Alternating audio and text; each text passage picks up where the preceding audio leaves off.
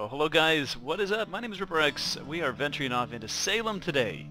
Uh, now, Salem is published by Paradox Interactive and made and developed by Seatribe. So we're going to jump into the game today.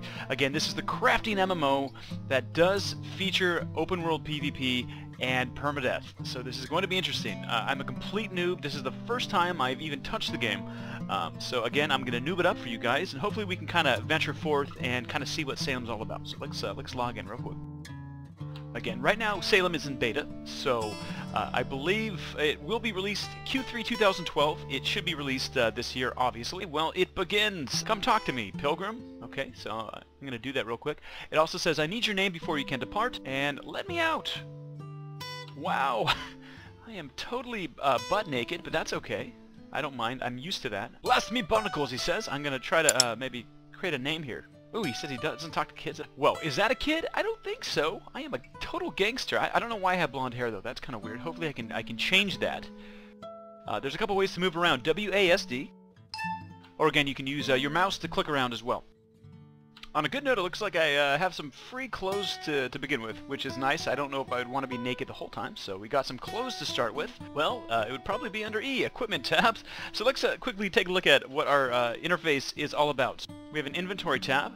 We have the Equipment tab, which I just pulled up. Control E will bring it up as a shortcut. Uh, studying. Looks like this is going to be where our skills are at. Again, you can put your skills into a variety of different things. Looks pretty cool. Um, we'll look, you know, go into that a little bit more later. Uh, buddy list, again, uh, completely alone right now. No one uh, is my friend. That's okay. And uh, town. Let's hit town real quick. Okay, nothing happened. And uh, options. Whoa. Whoa. Okay, that's either shadows or no shadows. I like the shadows, so we'll go ahead and leave that. A little mini-map on the bottom left as well. Display personal claims. Okay. And uh, display town claims. Again, I have no personal claims or town claims. Let me see if I can equip my uh, my guy real quick. So I'm just uh, essentially dragging it and left-clicking it on uh, my character, and it just kind of loads him up right away. Yay! Wow! Alright, my guy looks great. Much better. Uh, much better. Alright, on the very top middle of the screen we have, looks like our life. There's a bunch of stuff here. Blood, uh, Felgium, Yellow Bile, and Black Bile. Okay, that's interesting. It says uh, you need to swim. You need to learn swimming before you can cross deep water. Uh, this is going to be fun. It seems like everything in this game you're going to need to learn skills for. Okay, well, um, I'm a, a, little bit lost here. I know we just started, but uh, there's really nowhere to exit. So uh, when I went and talked to this guy, he said I needed to grow up before I can leave. Before you can depart, you can use the objects on the old world dockside to create your character.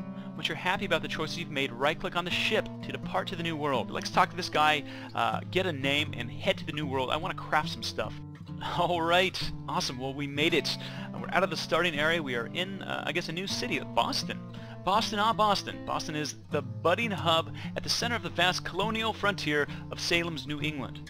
All new characters start here and as soon as you have a homestead, you can instantly travel to here from your homestead and back at any time to buy and sell items. Okay, well this guy is offering to lead me into the wild yonder. I don't think I have 30 silver. Let me just double check real quick. Um, can I put on my debit card? Nope, that's a no-go. Okay. Wow, I can really zoom in a lot, more than I expected actually. That's pretty cool. Very cool.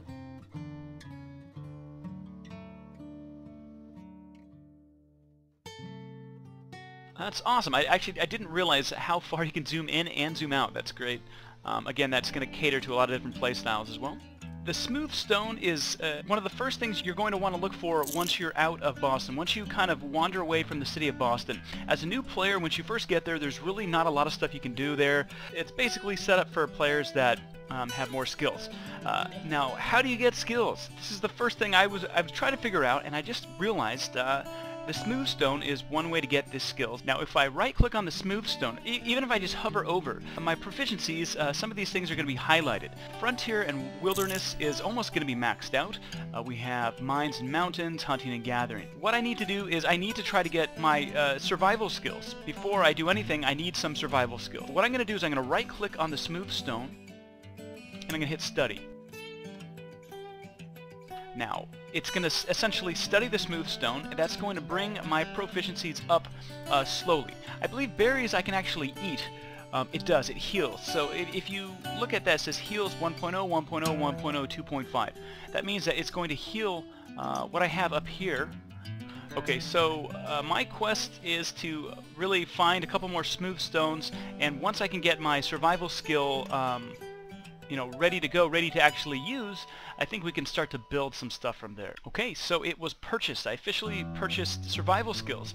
Now, as you can see, um, a couple things just happened. My proficiencies just went back to zero. I have to relearn some stuff. If you invest into these named skills, it's going to reset your proficiencies. I'm a super noob, I don't know the details, but as far as I know, when you do learn a name skill, you lose uh, your proficiencies, you have to kind of start again. On a good note, I just uh, learned survival skills, which means that the first thing I should do is kind of take a look around the world. I'm probably going to be able to click on things that I wasn't able to click on before. So let's click on a tree and see if I can actually take a branch. I know that's important. Yes! Oh, awesome. So I'm able to pick a branch. Let me go ahead and do that real quick. Okay, I don't know how many branches I'm picking. Let's uh, double check in my inventory. Whoa, okay. Uh, that's a lot of branches. I don't think I need that many, but I know uh, one thing I was told is flint plus a branch equals an axe. Oh, I just, uh, it looks like I have build as well, so I can actually start building stuff. Let's click on build and see what we have. A pile of wood. Again, it doesn't sound like a lot, but everything you do in this game, uh, you gain skills from it. Alright, clothing, equipment, and weapons. Obviously, that's going to be important. Uh, we have food, inspirationals, which we had before, miscellaneous tools, awesome, and uh, processing and materials. Very cool. So let's go into each one and see kind of what we have to, to work with here. Okay, under weapons and tools, we have tools and weapons. I have a torch. Okay, to make a torch, oh boy, I'm going to need sharpened stick, Andy Tinder, and it's obviously going to make it. So I don't have, an, again, I don't have enough to make a torch right now, but in the near future I will. Under food we have meat and game, uh, forage and free range, cool. Inspirationals, anything new? Uh, captivating flame, okay, same, kind of the same stuff. Miscellaneous tools. Tinder, Tinder drill is a lighting item which can be used to light objects and items such as fires, ovens, and torches. It's good to know for future. Uh, processing the materials, hay. Okay. Uh, again, the first thing that anyone should do in this game, once you are out of Boston, look for a smooth stone. Once you get a smooth stone, you can study that stone and you can get to the point where you can actually have survival skills, and that's where we are currently at. I would love to learn foraging, um, fishing down the road as well, forage, I'm going to need more uh, frontier and wilderness as well as mines. Let's see if I can again make a wood pile. Uh, all I do is left click in my inventory, I click it into here. And do that until it looks like I have one more to go.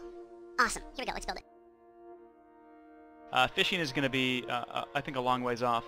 Um, again, if a skill down here under available is white, you are able to purchase it. Um, again, if it's not white, I don't believe you are able to purchase it. Uh, the skills that we currently have are two things. We have uh, survival skills and childish things. So we do have a couple more things to, to get here. Um, that's kind of my goal. I'm going to venture away um, from Boston, Baston. Baston, I'm going to venture away. Is that a rock? Oh, that's not a rock. I'm going to venture away and just kind of uh, maybe hang tight to the river here. Maybe see if we can find some items. Oh, there's uh, some grass said, let's pick up some grass. I think uh, one or two more pieces of grass and we can actually make some hay. Again, just for the record, this game is not one of those games you jump into and expect to uh, conquer within the hour. This game takes a while uh, to play. It's very in-depth. Uh, one of the goals is to eventually get to the point where you have enough skills uh, where you can build a settlement. You can build um, some kind of co colonial masterpiece, whether it's a farm or, or, a homestead or whatever. And once you're at that point, you can start to get advanced skills, and then uh, you can obviously start to venture into combat, whether the combat is hunting wildlife or hunting players. Uh, again, there are consequences to PvP, but there is PvP in the game, and there is permadeath, so Again, it makes it very interesting. The rule set that the developers implemented in this is just pretty cool. Uh, but first and foremost, this game is a crafting MMO, and it is a very detailed crafting MMO. Again, I uh, just am touching the tip of the iceberg. The tip of the iceberg led us here. So I am uh, as new of a player as you are. Trust me, I've only been in this game very, very briefly.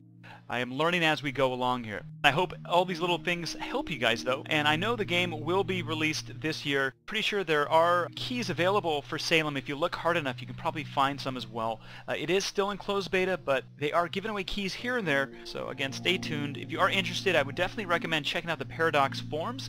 Also check out Salem, and definitely check out MMORPG.com. We might be giving away some Salem keys in the near future, so stay tuned on that front. So hitting craft all just automatically takes it from my inventory. I just created some hay. Again, I don't know exactly what that just did. Um, I don't know if that like added to my skills.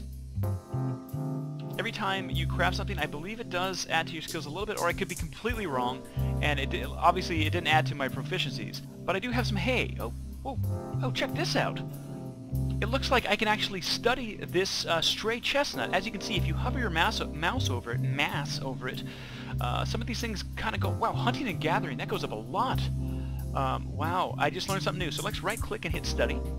Oh, that is so cool. I thought it was only a smooth stone, but looks like there's different items that you can pick up that actually help you gain proficiencies. Because of this, I'm uh, hopefully going to be able to may maybe get foraging. Now, I, I, don't believe we're ready to go back to Boston yet, and I know that, uh, again, once you get 20 silver or 30 silver, there'll be some, some lads that will you know, take you away into the wilderness randomly and, and you can kind of build your own settlement. Again, we're not there yet.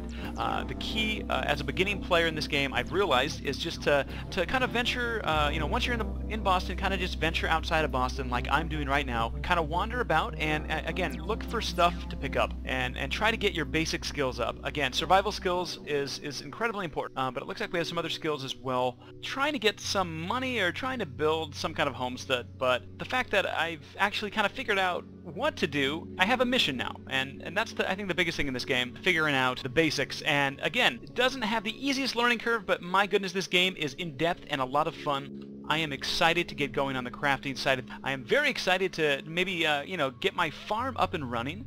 I want to start, uh, you know, getting wood and, and, and getting different items and uh, having a nice home base. I think having a home base is important in this game. Awesome.